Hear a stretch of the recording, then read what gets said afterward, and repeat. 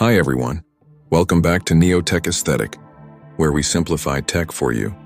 In today's video, we're diving deep into APK Editor Pro. This is one of the most powerful tools for modifying Android apps. Whether you're a beginner or an advanced user, this guide will show you how to master it step by step. Let's get started. APK Editor Pro is a versatile tool that lets you modify APK files. Whether you want to change app permissions, edit resources, or customize the app interface, it's a game changer. However, it's important to use this tool ethically. Don't misuse it for illegal purposes.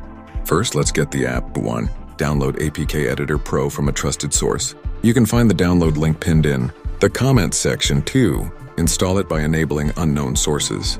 In your Android settings, now let's explore the key features of APK Editor Pro 1 Full Edit Mode.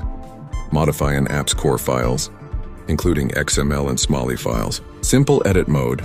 Replace app resources, like images or audio 3. String localization. Change app text to another language. Patch Mode. Apply pre-created patches for specific modifications. Next, let's use APK Editor Pro to customize an app. For example, change the app icon.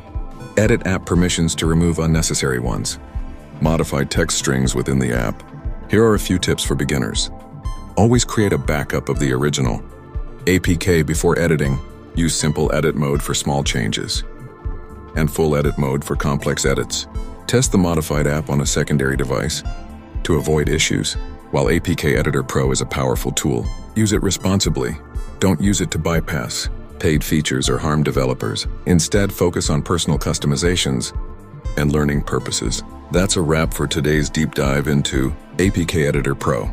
If you found this video helpful, don't forget to like, share, and subscribe to Neotech Aesthetic for more tech insights. Remember, the download link is pinned in the comments section. Let me know in the comments if you have any questions or topics you'd like me to cover next. See you in the next video.